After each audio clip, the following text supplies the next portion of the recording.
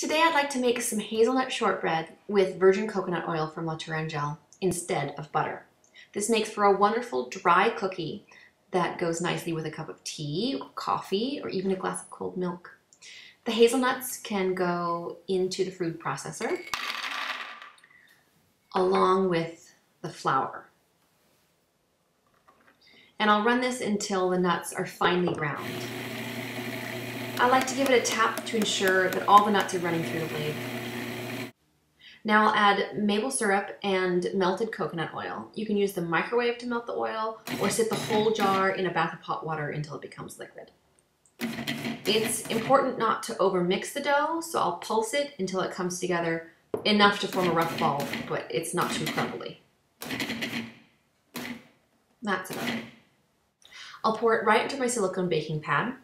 You can also use parchment paper and form it into an 8 by 4 inch rectangle. Then I can slice it into 8 bars and I'll prick the tops with a fork and I'll bake it at 325 degrees for 20 to 24 minutes.